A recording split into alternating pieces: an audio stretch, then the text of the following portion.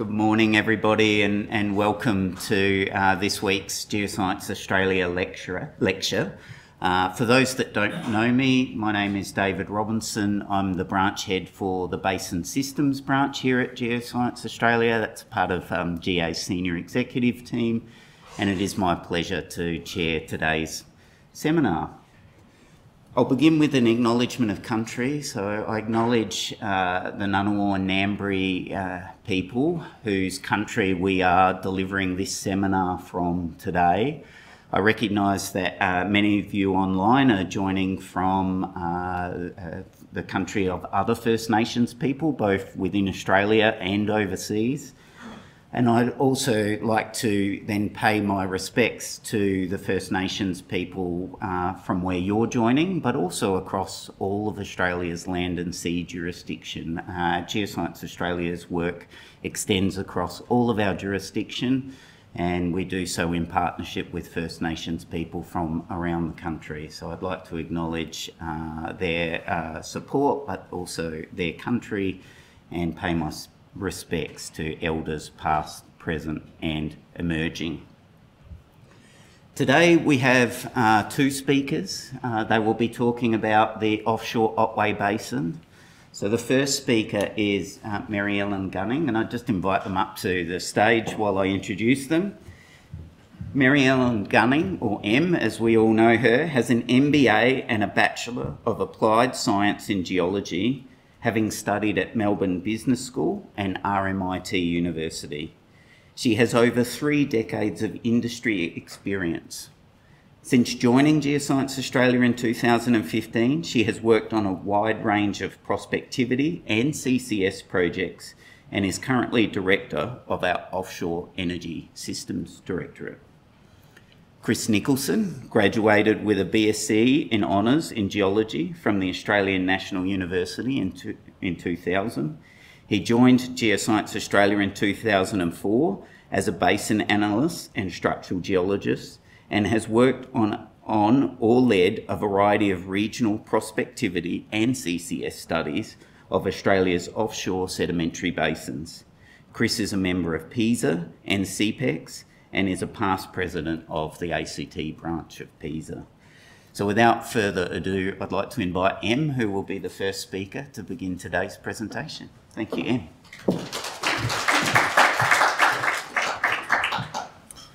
Thanks for that introduction, David. Uh, welcome, everybody. Um, on behalf of Chris and myself, I'd like to acknowledge um, the Ngunnawal and Ngambri people on whose country we meet today and pay our respects to their elders past and present. So the work we're going to talk about today is aligned with the future gas strategy, which was announced by the Australian government a few weeks ago. Within that strategy, it says gas will be an important fuel for the foreseeable and that it's an important element in our our journey to decarbonisation. The work's also strongly aligned with Geoscience Australia's Strategy 2028, in particular the Building Australia's Resources Wealth Impact Area. And when you look at the things that, that reflect into the corporate plan about what we will do, um, it's mapping Australia's energy resources. So the presentation today is in two parts. I'll give a brief introduction, but then the first part will be delivered by me, and that will be on the post-stack 3D merging of um, post-stack 3D merging to fast-track regional interpretation.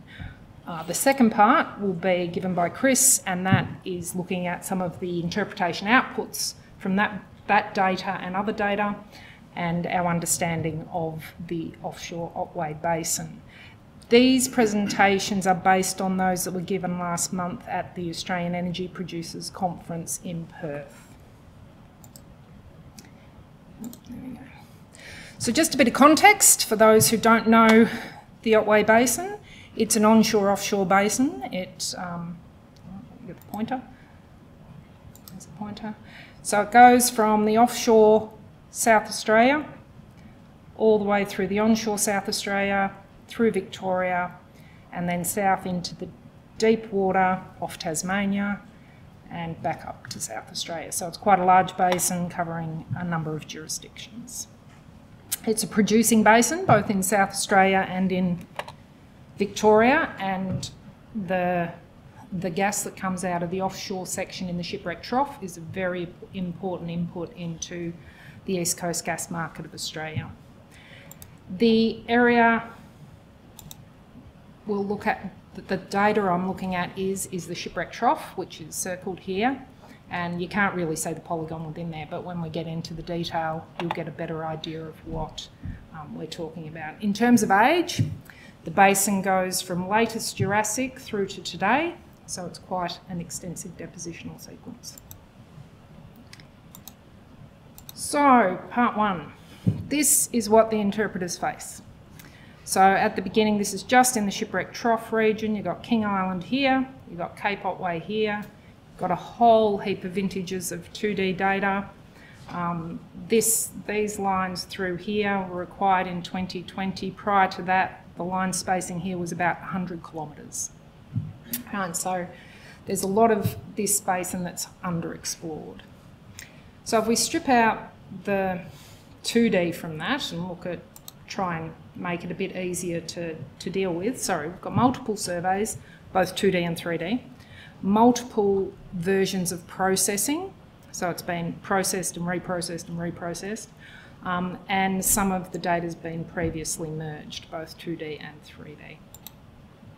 And as I say, the mapping project's predominantly a 2D mapping project. Um, so we're integrating um, interpretation across 2D and 3D focused on the Upper Cretaceous section. So that's the um, Sherbrooke supersequence, which you can see through here, and the Shipwreck supersequence through here. In colours here on the left, you can see all the different 3D surveys that we used to do this merge, and just here you can see the path of this arbitrary line here.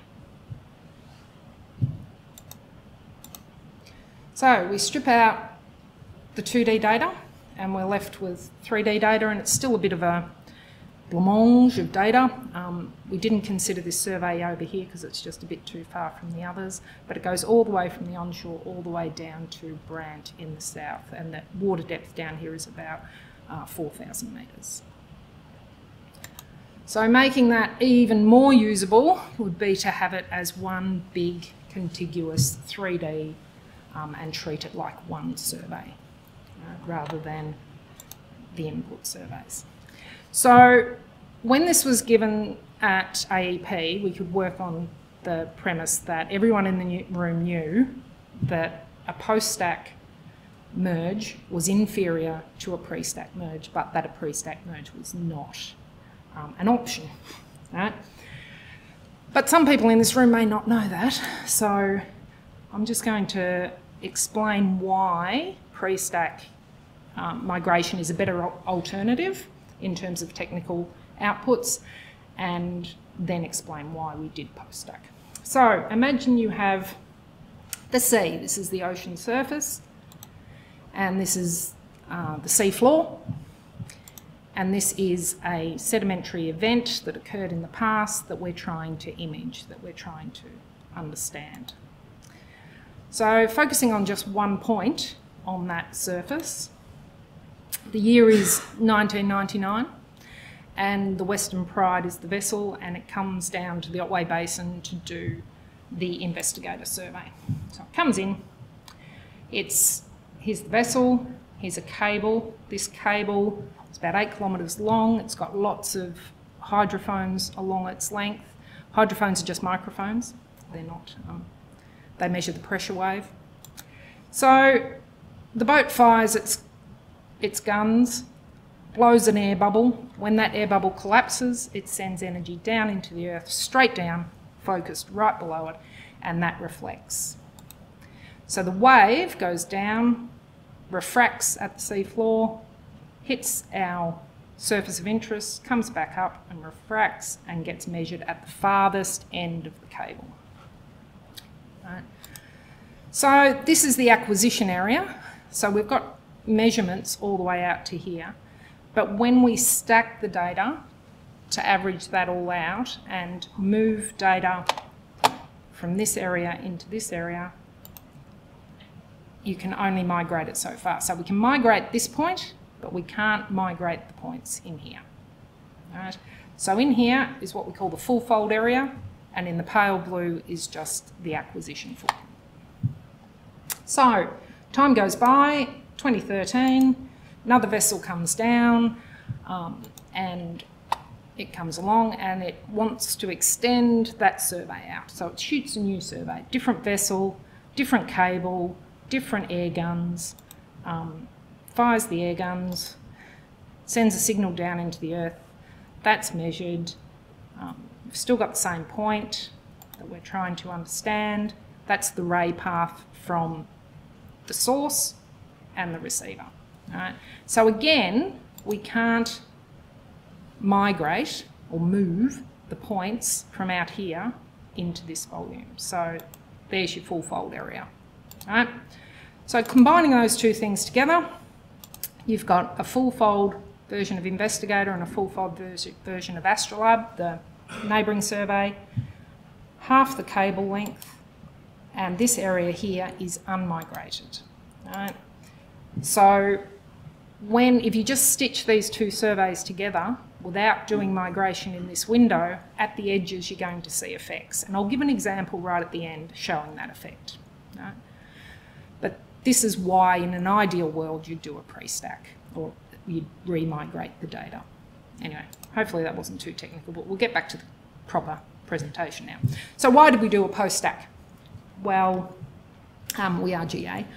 Um, time is the primary factor as to why we did a post-stack.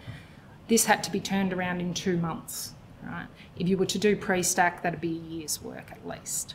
Right? It takes more computers, it takes more people, and it takes more money.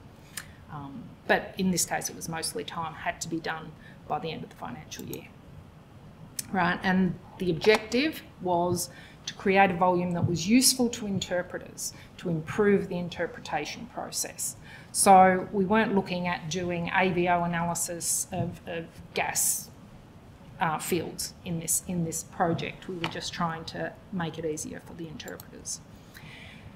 We had 12 input volumes at the end, over 14 surveys. Some of them have previously been merged, and this is 8,000 square kilometres of data of 3D data.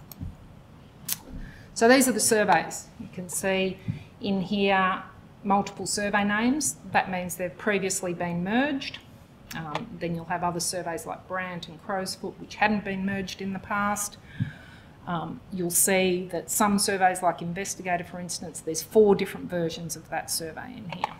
So our surveys range in the years that they were processed from 2000 to 2017 the way it had been migrated, those surveys had been migrated in the past was variable. Some were pre-stack time migrations, some were pre-stack depth migrations, um, and many different types of algorithm used in that migration. The angle ranges for the stacked volumes that we used as input varied greatly. And um, you can see these altogether these will add up to over 8,000 square k's of area. You can see the surveys here, the inputs over here in different colours. This orange survey in the middle is Investigator North. That's the survey that was chosen as the reference survey. It was chosen partly because of its position in the middle of the overall merge, but also for its data quality. So looking at that in cross section, we have an arbitrary line through those volumes here. So it goes from the north down to the south. So this is Brant in the south, that's deep water, and the orange one in the middle is our reference survey. And you can see even with this um, poor colour scale that there's a high variability in the quality of the data. It'll become more obvious when they're on the same colour bar. So looking at the processing sequence that we applied, I'm not going to go through all the steps, but I'll go through some of the main ones. The, one of the first steps was regularisation. And what that is, is that's sort of like gridding the seismic data, so taking it in a 3D sense and putting it in a grid. So we chose uh, this orientation here that you can see on the left, so in lines and cross lines, um, there's the input there after, oh, after it's been regularised, um, so put on that common grid. This uh, orientation was chosen partly due to it generally went along structure, geological structure, but also because um, it minimised the rebinning of any existing data, which um, sped things up. We were looking to speed things up wherever we could along this project. So the next phase was um, mistie analysis. Basically, we treated this data as if it was 2D data and did um, a correlation between the surveys to assess how much they had to be shifted in time, phase and amplitude. So you see Investigator North here, it didn't change. Everything else was shifted relative to it. So the adjacent surveys were matched to that and then the further out surveys were matched in turn and in turn and in turn. So most of these are pretty good. You'll say the biggest is a 20 millisecond shift in Brant. That's the one in the deep water. That was tied using a 2D line, so it um, didn't actually abut in 3D, but it's still quite a good tie. Um, the window used to do the correlation was the water bottom, which is here, plus 250 milliseconds, all the way down to the water bottom plus 2500 milliseconds. Now that takes out the canyoning effect through here, and a lot of the windows we used to do the tying took out that canyoning effect. So that's the data after it's been um, undergone that mistie analysis. The next step was spectral broadening. So now we switch to the frequency domain. Again, we defined three windows, water bottom to the top of the Sherbrooke. Now the 2D inter regional interpretation as it was at the date was used to inform this, so it defined where these windows were. So that all came from the interpretation team here. Then you've got the LC2 down here, that's the second window is the Sherbrooke super sequence, and then from the LC2 down two seconds. So they were the windows used to do um, the spe spectral broadening. You can see here the top graph is, it's very hard to see, but um, this is the spectrum before it had been broadened and this is afterwards. You can see there's two surveys, one up here that's the extreme. That's very noisy, a lot of high frequency noise in there. That's labella. You'll see a lot of the high frequency noise when we go through. And then down here, I don't know why, I don't know why, but um, this Minerva survey has um, very, seems to have but had a bandpass filter applied to chop off any of the high frequencies.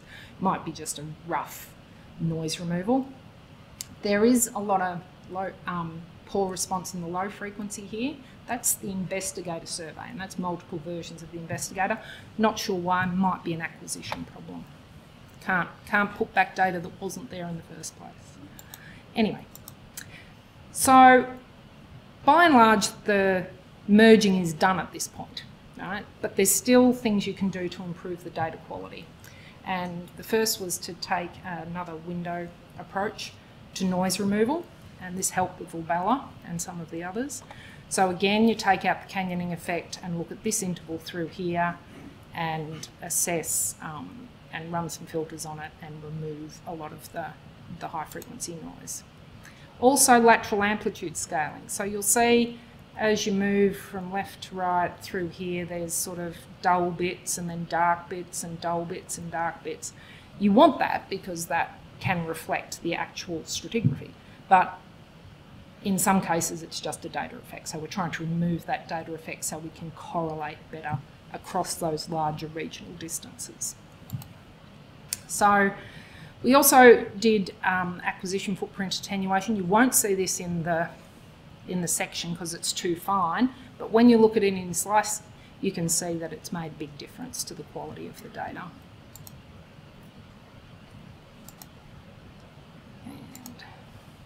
Oh, and a residual gain. So that just boosts the amplitudes down here so that you can, um, the, the interpreter's eye has an easier job of it. Um, we weren't particularly concerned because of all the inputs and the previous processing. True amplitude wasn't really an option here um, to look at AVO effects and things like that. Um, so we just um, made it easier to see rather than um, crunch. Right, so this is this is what we started with on the same colour bar. So this is what I showed you before with the different colours, except this time it's in a common colour bar. So middle survey here, this is our reference survey, the orange one. Um, you can see here, this is Labella, very noisy, lots of shallow water multiples here. Um, not much we can do about that in a post-stack world, but it wasn't actually improved by taking a lot of the other noise out.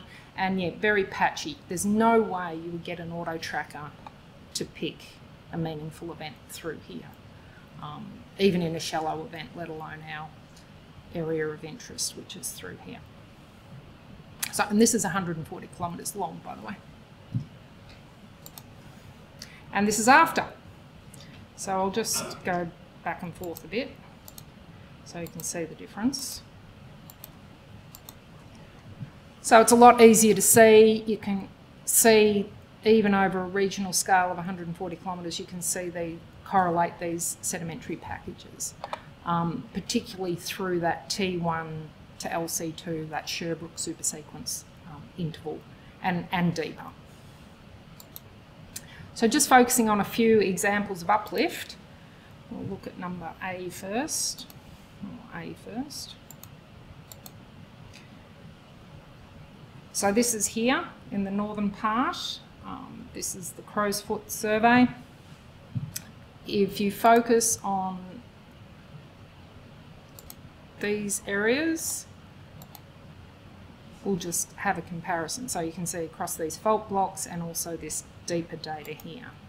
So this is it before and after before, after, before, after.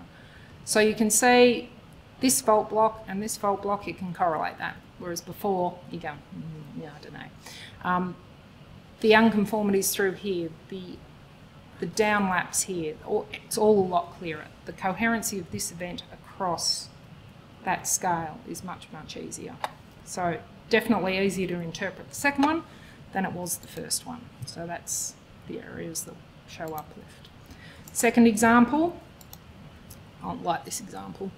So you're up here in, um, into Minerva and just focus on this fault area here and this shallow, shallower sequence here. So that's the output. Input, output, input, output. I'm sure you agree this fault is a lot easier to pick on the second one than it was on the first one. And this package here is also a lot easier to pick. Uh, third example, this, this is a remarkable example. So on the right here we have Labella, very noisy. Um, oh, yeah, we have Labella, it's very noisy. And that almost looks like a data management issue rather than a correlation issue. Focus on those downlaps there and this sequence within um, Labella. And afterwards, you can actually see that package extend through there and you can start to see some of these events, although there's still a lot of noise in there, um, you can start to see some of those events through there. So there you go. Uh, D, now this is our reference survey on the right, and this is um, Labella on the left. You can see it's a bit bland through here, so just pay attention to that area and also that shallow unconformity. And you can see it's a lot, you can start to correlate across here where you couldn't before within that Sherbrooke supersequence. And that unconformity is just, an auto picker will pick that unconformity now. It wouldn't do it before. Right. And even in the deep water, we've got this example um, of, this is Brant, so as I said before, this was tied by, by a little piece of 2D um, between the surveys, but these, it looks very hard to correlate and um, so we're down here, just for reference, and then focus on that package and you can correlate it after the fact. So you can actually see these units between the surveys now. You see this little window here, this little effect, artifact, That's because there's not enough data to migrate. That's what that migration effect is. So you would need to do a pre-stack um, data um, migration to solve that issue. But we can't extend this to do that. So just quickly looking at it in um, time slice. So this is taking a horizontal plane through the volume. This is at 500 milliseconds. Um, I'll just point out some areas to focus on. That's the Flanagan join. So if you notice where that survey joins there, just compare as I go down through it before and after. The noise in Labella here and see the improvement in that. And also the contiguous events that come through here. I mean, just compare it on that one compared to that. You can actually see the geology there. Right, I'm just going to step through them. So this is 1000 milliseconds. Same areas show improvement. I think you'll agree that the, it's a lot better on the, on the right than it is on the left. 1500 milliseconds, 2000 milliseconds. So even at depth, we're starting to see um, a lot of improvement in the data. In terms of um, what this result, what this volume enables us to do. So having that one contiguous um, volume that, that can be used by the interpreters. It provides for more continuous tracking of events using both auto trackers and also just to the human eye. Um, waveform picking works. I had a crack at that T1 surface and it was pretty easy and pretty quick and it stayed on track most of the time without having to fiddle around with the parameters too much. So you could, that's going to speed up interpretation. Right. You can produce normalized amplitude maps, extract seismic attributes, and this helps inform inform quality control of seismic interpretation. It indicates things about depositional events that you can see in, in, the, in the seismic facies. So a lot more information to be extracted there. Um, structure, uh, particularly in that time slice view, you're able to generate things like variance, which is going to highlight those faults. You're going to be able to pick those faults quicker and more accurately, um, and therefore build up your structural model um, across the survey. And as you see, correlating fault blocks between those surveys is now within the fault blocks across those surveys is a lot easier. And any you can also recognise any changes in, in structural trend more readily. And improvement improve work processes. So just managing one volume versus 14 or more. Right? Easier to load, easier to manage, easier to collaborate across um, and subdivide it by different people, um, break the workload down. So when should you do a post-stack? We've already said doing a pre-stack, that's the technical um, solution that you want to do. But there are times when, you know, you may not do that. Look, if you've got two 3Ds that are right next to each other, they've got similar processing, the same um, orientation, you wouldn't bother to do this. But if you're trying to deal with those geometric and um, processing issues, then this is a really good solution. Right? When you're constrained by time, money, and access to field data, right? There's a big difference between a two-month turnaround for 8,000 square kilometres and a year, right? It makes a big difference. Um, when, um, when you don't have enough money, it's more expensive to do a pre-stack. Um, and sometimes you don't have access to field data, right? or you have only access to field data on one of your surveys and not the others. So if you don't have that access to field data, then you don't really have any other option. And sometimes, if you're going to do a pre-stack remigration, then you may also want to do a post-stack at the beginning of that project. So um, we did it for the Barrow Dampier CCS study, which was 35,000 square kilometres, and the estimate is that it sped up that project by five months. Right, so just having early access to that volume improved the delivery time by five months. It also improved the model building because you've got those interim horizons that you can use to inform that migration. um, and the model building around that and the velocity picking. And also, it will highlight those areas where you're going to have problems. So, you know, where you're going to have multiples, where you're going to have velocity inconsistencies that are affecting um, the imaging, and where you're going to have problems with noise, because these will be different with multiple surveys. So I'd like to thank my co-authors, in particular the team at DUG, Scott and the team. Um, I think you'll agree that, that there's a lot of uplift in that data. Um, it's a lot easier to work with and it's a lot better quality um, and it makes a difference to the interpretation team. Um, thanks Cam for all his work on the project. Uh, I don't know if Cam's here. No? Um, the repository team. So, like I said, this was a very fast turnaround, and the repository team really did have to crank it um, to get the data ready to ship to the contractor. And um, yeah, they went above and beyond. Um, the reviewers of the AEP publications, Donna and Yvette, thanks Yvette, um, Chris Evenden for figure production, and of course the entire offshore team for doing all the interpretation, which we'll see in a minute.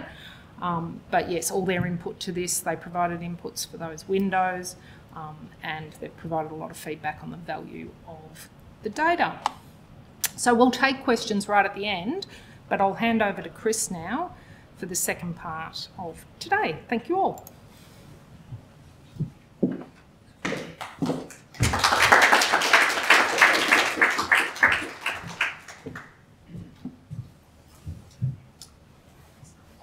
All right, good morning all, and um, let me just adjust the camera for those online. Actually can't see the camera view. Ah, yes, there it is.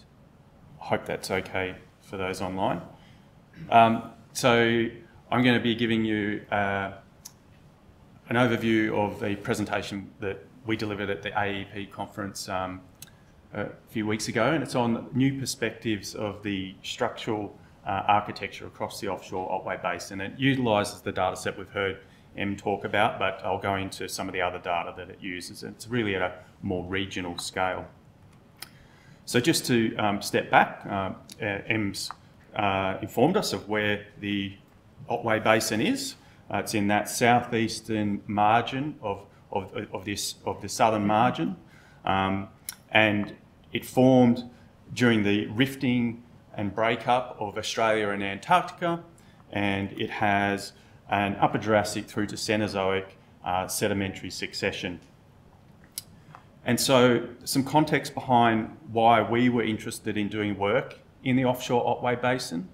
Well, GA had previously published an inventory of Australia's offshore basins, identifying all of the data gaps um, and in the case of the offshore Otway Basin, it was recognised that the sparse coverage and poor quality of legacy seismic data across the deep water areas was the real limiting factor to understanding uh, the geology of this part of the basin.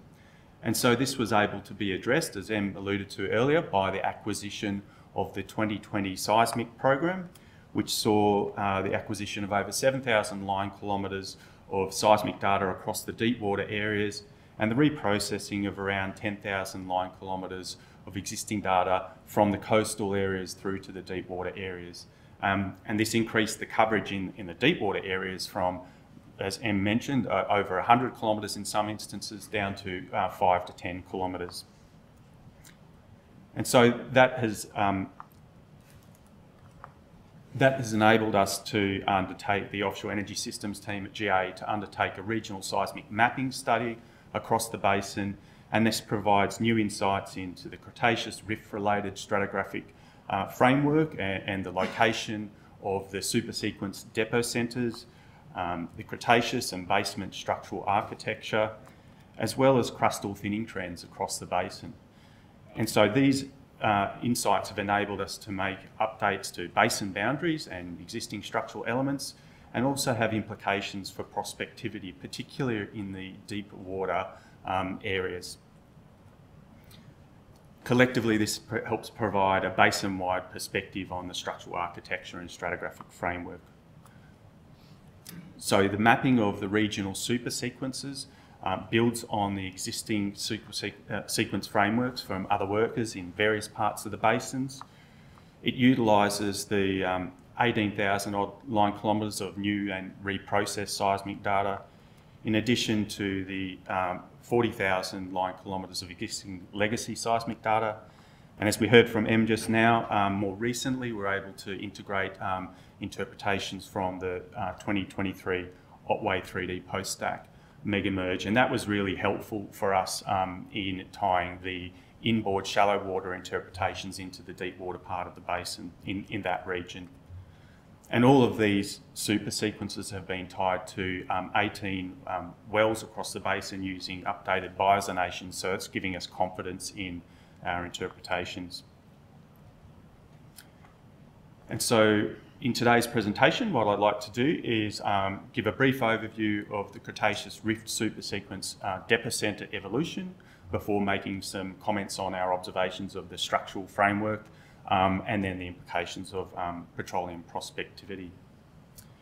Before I get into the details of um, the observations of, of the depocenter evolution though, um, because I'll be referring to uh, various structural elements um, throughout the, the, talk, I'll just do a bit of a basin orientation of some of the key ones that I'll be referring to for those of you who might not be familiar.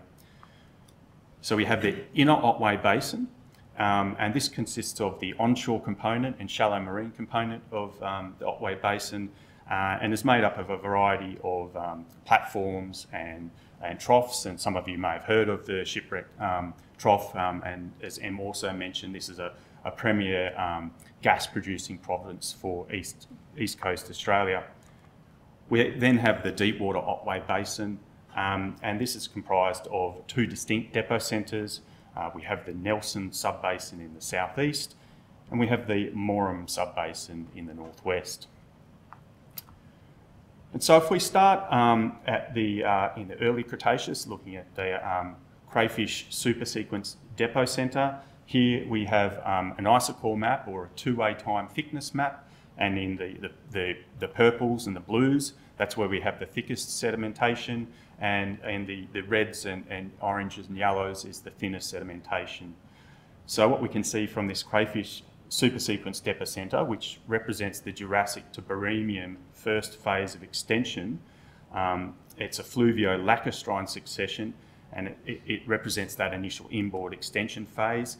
And what we're seeing is that the thickest sediments are located on the platform areas, um, whilst the sedimentation thins outboard over the deep water Otway Basin, and it's, it's actually absent in the northwest and southeast over um, a series of basement highs. And that sequence is then overlain by the Eumeralla um, supersequence, which represents the Aptian to Albian volcaniclastic sag succession following that um, extension. And unsurprisingly, um, the sediments are thickest there overlying those synrift depocenters where we would expect to see um, maximum thermal sag. And again, thinnest over the deep water parts of the basin and, and thin to absent over those basement highs. If we then step up into the second phase of extension and the deposition of the shipwreck supersequence, here we can see that um, this depocenter is actually thinnest over the platform areas and the deposition has stepped outboard where we have two distinct depocentres um, in, in, the deep water part of the basin in both the Morum and Nelson subbasins. Overlying this, we have the Sherbrook supersequence, which is a continuation of um, that second phase of extension. And again, we have sedimentation being thinnest over those inboard platform areas and thickening outboard um, but this time we see a distinct uh, change in the locus of sedimentation to the northwest in the Morum subbasin. And if we combine all of these um, together to look at the whole of Cretaceous, um, the depocenter as a whole, so that representation of the Cretaceous uh, rift-related deposition, we start to get some ideas on the geometry of the overall uh, rift architecture and we can see that we have maximum thickness um, of up to 5,800 milliseconds, two-way time in the Morum subbasin uh, to the northwest. We have uh, uh, thinning of the sedimentation over a series of outer margin structural highs where we have the late Cretaceous sediments on lapping, indicating that they were forming at the same time as the Cretaceous sediments were being deposited. We have a series of perched half graben in the southeast, um, overlying shallow basement, um, defining the, the edge, the eastern edge of, of the basin. And then we have a series of a smaller half graben depocenters stepping up from the Morum subbasin in the northwest, defining that edge of the basin. But perhaps the most important observation that we can take from being able to visualise for the first time the whole of the Cretaceous um, rift fill is that it's enabled us to make some needed updates to some of the existing basin boundaries and structural elements. Uh, for example, the previous boundary between the Otway and Sorell basins was um, broadly arbitrary in nature, and that was due to the legacy seismic data being very, very um, uh, sparse and of poor quality and not really enabling um, a geologically supported um, boundary, whereas the new data and interpretations allow us to um, uh, create a geologically supported boundary between the Otway and Sorell basins. And that's important because this separates the depositional um, systems of these two basins and has implications for the potential development and distribution and preservation of petroleum system elements such as um, seal and, um, and reservoir lithologies, broadly speaking. If we then look below the Cretaceous Rift Depocentre at the Paleozoic basement and basement involved faults, we get some other indications of um, structural factors influencing uh, basin architecture. So, for example, we know from a 2011 study by Gibson and others um, that was looking into the basement terranes underlying the rifted margins of Australia and Antarctica that the southeastern corner of the Otway Basin is underlain by a north-northwest oriented basement fabric. And this has had a strong influence on um, the basement involved faults in this part of the basin, where we see these north-northwest orientated faults in the Sorell fault zone defining that eastern margin of the basin. Stepping outboard over the Mussel Hinge zone, we see a series of uh, northwest, uh, southeast oriented en echelon crustal uh, scale detachment faults that step down from the platform edge and offset the basement, separating the inboard Otway Basin from the deep water Otway Basin. Looking on to the, the platform areas uh, of the uh, prawn platform, shipwreck trough, mussel platform, the faults, the basement involved faults in this area strike predominantly north-south or northeast-southwest, and correlate with a series of Cretaceous fold axes, uh, indicating the, the basement control on um, basin uh, deformation in this area. And then moving finally to the northwest, we have the prominent um, Tartwaup uh, fault, which marks the basement basement boundary in this part of the basin. And it's also accompanied by a series of east-west orientated faults, which uh, detach um, and, and, offset basement to the south. And as well as um, some of the, the basement um, structural architecture observations we can make, the new data has enabled us to uh, interpret other aspects of crustal architecture across the basin. Um, so, for example, uh, it shows uh, a deep layered um, zone of um, layered seismic facies and that represents the uh, lower laminated continent, uh, lower laminated continental crust. And this is overlain by a seismically transparent um, uh, unit, which represents the, the upper crust. And because of the quality and spacing of the recently acquired data, we're able to map these across um, the basin. And what that shows us is that um, when we look at thickness maps of the lower laminated crust and the combined upper and lower crust is that we're seeing a higher level of crustal thinning um, as we step outboard over the deep water parts of, of, the margin. And this happens to also correlate with um, satellite gravity modelling of crustal thinning trends across the southern margin by Nick Kusznir in 2008, which is, which is encouraging for us. Um, and collectively, uh, this helps us delineate uh, proximal necking distal and outer structural domains correlating with the varying degrees of crustal thinning trends. and when we compare the crustal thinning trends to the orientation and location of the um, upper crust, uh, the upper Cretaceous depocentres, we can see that there's a, there's a strong correlation indicating that it's likely that the crustal thinning has had quite a strong influence on the location or, and orientation of that upper Cretaceous depocentre. By comparison, if we compare it to the lower Cretaceous Eumeralla and crayfish supersequence depocentres, um, they're located over, over thicker crust and, and appear to be less influenced by that, that crustal thinning. However, there is um, still an important question that remains, and that's why is there such a pronounced uh, westerly shift from the shipwreck supersequence depocentre to the overlying Sherbrook supersequence depocentre? And this seems counterintuitive when we know that the rifting uh, and unzipping of the southern margin was coming from west to east. However, we think there are several factors that could have influenced um, this.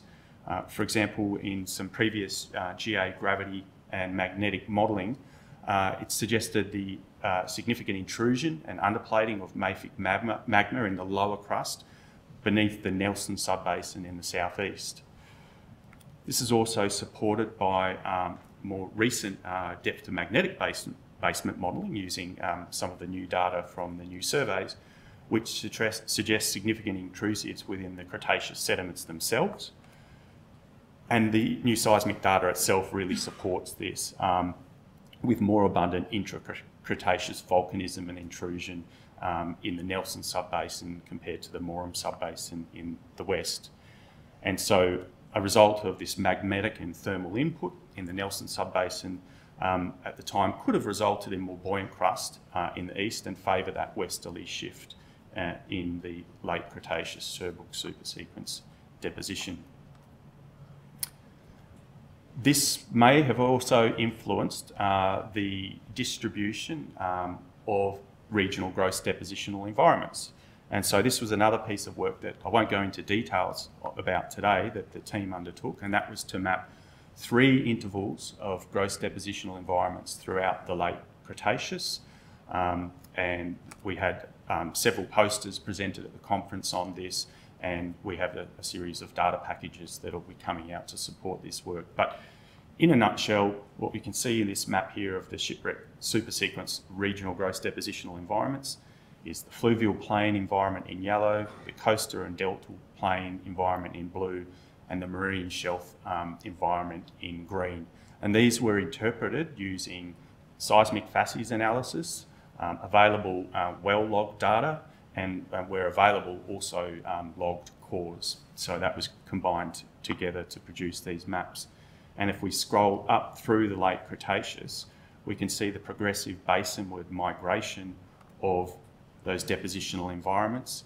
And what we see in the Sherbrook, uh, in the Morum subbasin to the west, where we have that thick Sherbrook supersequence deposition, is a band of that coastal and delta plain environment. We can also, when we look at the uh, depositional environment maps against the crustal thinning maps, we can see that broad correlation as well, just highlighting the linkage between crustal thinning, uh, deposition, and then the subsequent distribution of, of the environments being deposited into those depocentres. This also has um, potential implications for petroleum prospectivity because we might expect the late Cretaceous crustal extension to be associated with um, higher heat flow um, and this may have had uh, detrimental uh, impacts for more deeply buried shipwreck supersequence source rocks in that deep water part of the basin where we've had the high level of crustal thinning. Um, we've been working, uh, uh, collaborating and doing some petroleum systems modelling, and that's indicated that these source rocks were already highly mature. However, uh, the higher heat flow may have had um, positive implications for marine source rocks within the Sherbrook supersequence depocentre in these deep water parts of the basin um, overlying the, the highly uh, extended crust. and given we have in this deep water part of the basin, we have a wide distribution of the marine shelf depositional environment, that might enhance our source rock potential.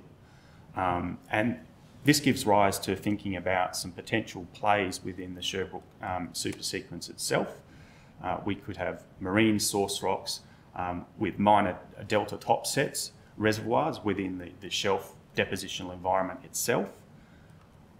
And we could have had coastal and deltaic reservoirs with marine source rocks um, within extensional growth wedges in that inner Morum subbasin where we have that deep, uh, thick Sherbrook supersequence deposition. So just in conclusion, um, this work has helped to provide some insights into the tectonostratigraphic framework um, and evolution of the Deepwater Otway Basin, um, we've been able to map the Cretaceous supersequence depocentres regionally. This has enabled um, geologically supported updates to um, structural elements and basin boundaries. Deep crustal reflectors have been regionally mappable and illustrate that highly extended nature of uh, crust in the deep water areas. And this crustal thinning appears to have controlled or influenced the um, Upper Cretaceous supersequence depocentre orientations and locations, as well as the distribution of those regional depositional environments. And this has implications for the petroleum system elements and upper Cretaceous um, source rocks in this part of the basin and opens up scope, scope to go back and, and revisit some of the previous petroleum systems models in this region. It's also worth noting that collectively all, all of these in, inputs can be um, re-engineered and the, and the petroleum systems modelling can be re-engineered um, for uh, CCS or carbon capture and storage prospectivity studies if that was a direction we wanted to go in. So we've got a lot of inputs that we can use for multiple purposes there. So I'd just like to finish up with some, firstly, acknowledgements. I'd like to um, thank Jenny Totterdell and Ollie Schenk for their fruitful discussions and really just thank um, our co-authors and the offshore energy systems team, um, as well as Tom Bernecker, Barry Bradshaw, and Victor for their, their reviews, and Ethan Shaw for his assistance with the drafting. And I'll just uh, finish uh, with a little plug for some uh, upcoming data releases uh, that we, we will be putting out. And I'll leave it there for questions, I believe. Thank you.